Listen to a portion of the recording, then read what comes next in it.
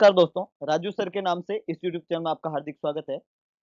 MCQ video की study के अंदर एक और नया वीडियो हम लेके आए हैं। AIIMS Delhi nursing officer exam के पॉइंट ऑफ़ व्यू में एक सितंबर को नॉट सेट एग्ज़ाम होना है और उसके अंदर कुछ इमेज बेस और आर्टिकल्स के क्वेश्चन भी आते हैं। तो वैसे तो हम डेली एमसीक्यूज यहाँ पे सॉल्व करते हैं, लेकिन बीच बीच में हम इमेज बेस और आर्टिकल के वीडियो भी लेके आएँगे।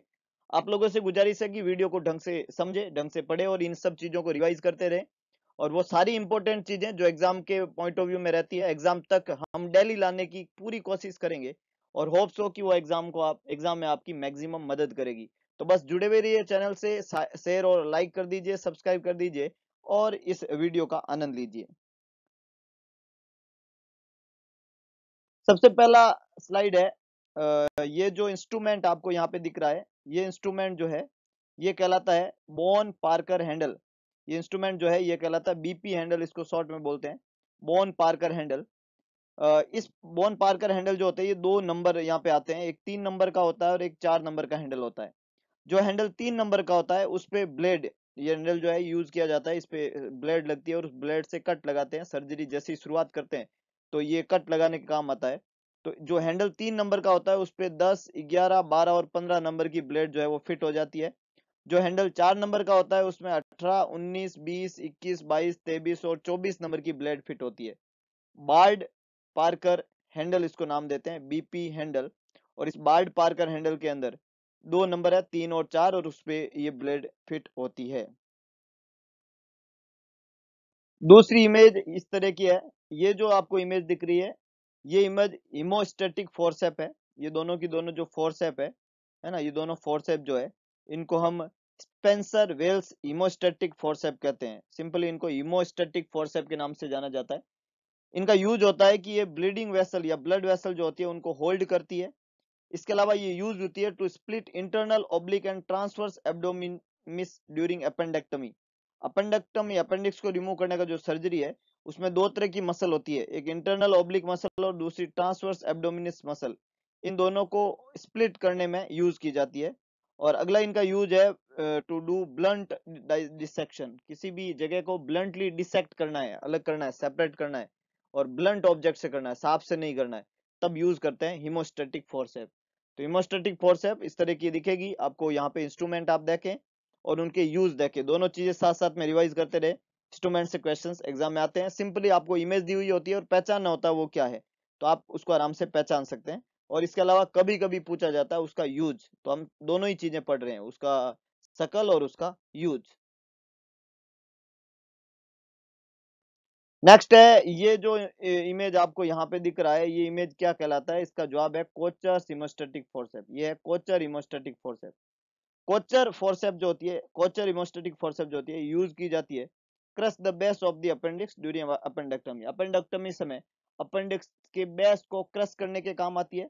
इसके अलावा ये यूज़ की जाती है मेनिस्कस को होल्ड करने में, जब मेनिस, मेनिसेक्टमी की जाती है तो मेनिस्कस को होल्ड करने में यूज़ आती है और सब टोटल थायराइडोक्टमी के अंदर भी इसको यूज़ किया जाता है। सब टोटल थायराइडोक्टमी जब करते हैं, थायराइड ग्रैंड को रिमूव करते हैं, उसमें भी इसको यूज़ किया जाता है। तो ये है Kocher's hemostatic forcep, Kocher's hemostatic forcep. हल्का सा आगे की तरफ़ ये कोचर टाइप का यहाँ पे बना होता है, इसको कोचर नाम इसलिए देते हैं और ब्लड वेसल को और जो है सर्जिकल ऑपरेशन के दौरान जो है वहाँ पे होल्डिंग पर्पज से इसको यूज़ करते हैं।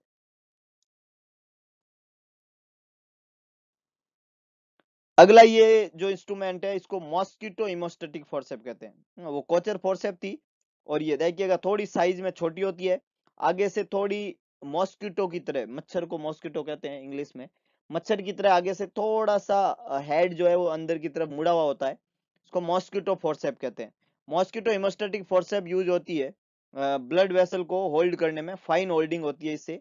और दूसरा यूज़ है इसका puncture the mesoappendix at an avascular site avascular site से मिजो अपेंडिक्स को पंचर करने के काम आती है। जब अपेंडिसाइटिस होते हैं अपेंडिक्स में इन्फ्लाम्ड होता है, वहाँ पे पस भर जाती है।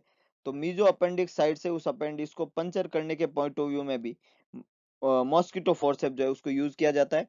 इसके अलावा use in operation of infants infants में इन्फेंट uh, को ऑपरेट करते समय इसको काम में लेते हैं। तो ये यूजेज रहते हैं मॉस्किटो इमोस्टेटिक फोर्सेप के। अगला आर्टिकल है अपना लिस्टर्स साइनस फोर्सेप ये एकदम प्लेन एकदम सीधा फोर्सेप जो होता है फोर्सेप जो भी होते हैं, उसमें ये जो आगे का जो इसका पार्ट होता है, इसके अंदर जो है हॉरिजॉन्टली वहाँ पे ऐसे लाइनिंग होती है, इसलिए इसको फोर्सेप कहते हैं। फोर्सेप जो होती है, ये ये लिस्टर्स साइनस फोर्सेप जो है, इसको यूज़ करते हैं आईएनडी के अंदर।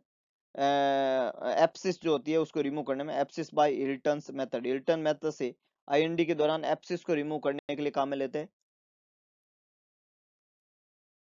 इसके अलावा जो गोज होता है it use to hold the gauze swab to clean abscess cavity gauze को होल्ड करके और एप्सिस कैविटी को क्लीन करने में मदद करता है। तो ये गोज को होल्ड करने में भी मदद करता है और आईएनडी में एप्सिस को जो है रिमूव करने में ये मदद करता है। तो ये काम होता है लिस्टर्स साइनस फोर्सेप का। इंपॉर्टेंट इंस्ट्रूमेंट है।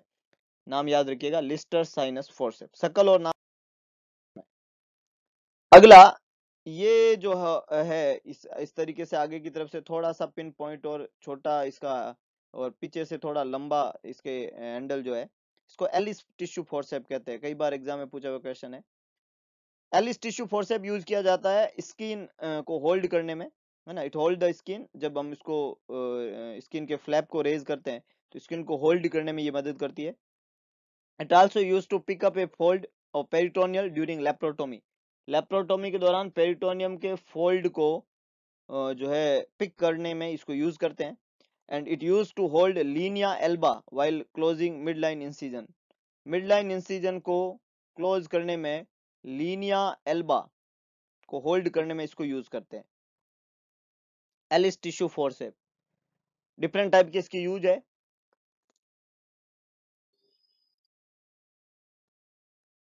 अगला इंस्ट्रूमेंट है अपना। आगे से इस तरीके से थोड़ा सा घुमाव लिया हुआ।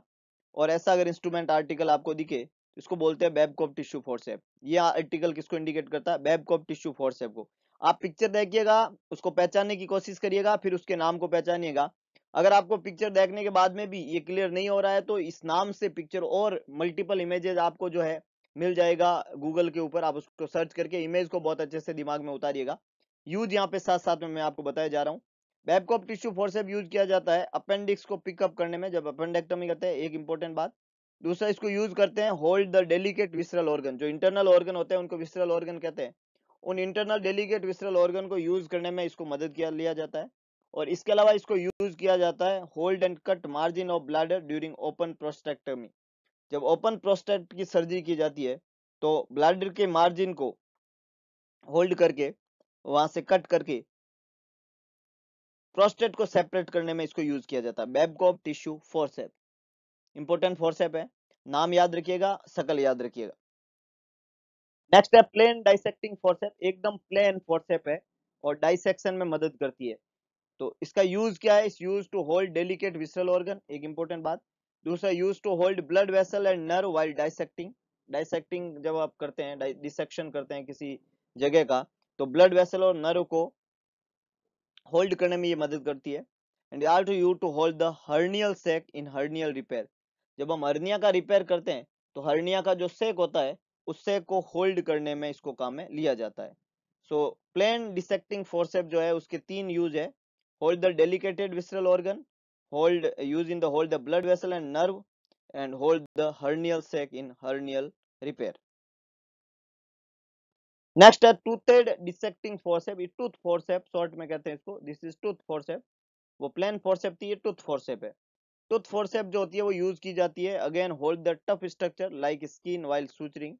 जब स्किन में सूचर लगाते हैं तो टफ स्किन होती है स्किन। उस टफ स्किन को होल्ड करने में इसको यूज़ करते हैं। It also use to hold scalp while scalp suturing. Scalp को भी होल्ड करते हैं जब स्काल्प की सूचरिंग होती है। Scalp is a part of nervous system that cover the brain. वैसे तो स्किन का पार्ट है, लेकिन ये ब्रेन को कवर करती है, इसलिए इसको स्काल्प बोलते हैं, खोपड़ी। And it is also use to hold rectum sheath while closure of abdomen जब एब्डोमन को क्लोज करते हैं तो रेक्टस की सीथ को होल्ड करने में ये मदद करता है।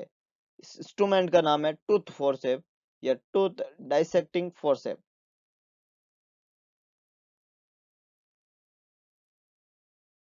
नेक्स्ट है नीडल होल्डर ये जो इमेजेज है, ये इमेज किसका है? नीडल होल्डर का। और बहुत सिंपल है द नीडल वाइल सूचरिंग जब सूचरिंग करते हैं तो नीडल को होल्ड करने में ये काम आता है। अगला इंस्ट्रूमेंट है मायो सीजर ये जो सीजर है, ये मायो सीजर कहलाती है। It use to tough structure like linea alba rectus sheath और एंट्री ऑफ़ द एब्डोमन इनको यूज़ करते हैं। ये यूज़ की जाती है कट करने में डेलिकेट स्ट्रक्चर को like hollow viscera investing layer of deep fascia of the neck in thyroid surgery और इसके अलावा इसको यूज़ किया जाता है raise skin flap by sharp dissection तो ये यूज़ रहते हैं मायो सीजर का। ये सारी की सारी जो सीजर है, इनको मायो सीजर के नाम से जाना जाता है और डिफरेंट टाइप की सर्जिकल प्रोसीजर में इनको काम में लिया जाता है। नेक्स्ट है hath suture cutting scissor suture को कट करने वाली सीजर है ये। सूचर को कट करने वाली। It use to cut sutures on skin and mucous membrane तो सूचर को कट करने में जो सीजर काम में लिया जाता है, इसको सूचर कटिंग सीजर के नाम से जाना जाता है। हेल्थ सूचर कटिंग सीजर इसको नाम दिया जाता है। तो ये कुछ इंपॉर्टेंट जो है आर्टिकल्स को इमेजेस के साथ में उनके यूज़ हमने पढ़े। इसी तरीके के मज़ेदार वीडियो को सुनने के लिए जुड़े हुए रहिए मेरे यूट्यूब चैनल से। अगर आपको वीडियो पसंद आया तो वीडियो को लाइक करें वीडियो को शेयर करें। कमेंट बॉक्स में अपना सुझाव ज़रूर डालें। इसके अलावा एक काम करें, इस चैनल उस वीडियो को मैक्सिमम लोगों तक पहुँचाने की ज़िम्मेदारी आज ही उठाए, क्योंकि आप ही वो लोग हैं जो स्वार्थी नहीं बन के सारथी बनेंगे और सारथी बन के मैक्सिमम लोगों की मदद करेंगे। मदद करके देखिएगा, आपको बिल्कुल अच्छा लगेगा। और बिल्कुल पैनिक नहीं होइएगा। जो जो चीज़ें मैं डाल रहा हूँ, उसको बिल्कुल आप पढ़ते रहिए और उनको समझते रहिए। आप डेफिनेटली एक अच्छा ज्ञान प्राप्त कर रहे हैं। आप अपना सुझाव ज़रूर डालें कमेंट बॉक्स में, लेकिन पैनिक ना होइए और जो चीज़ें बताई जा रही है, उसको कंटेस्ट कर लीजिएगा।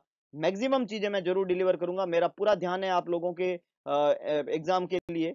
तो डेफिनेटली आप जुड़े रहिए और हम अच्छे अच्छी चीज़ें इन फ्यूचर लेके आएँगे। तो मिलते हैं दोबारा एक नए वीडियो के साथ में। तब तक के लिए जय हिंद, जय भारत।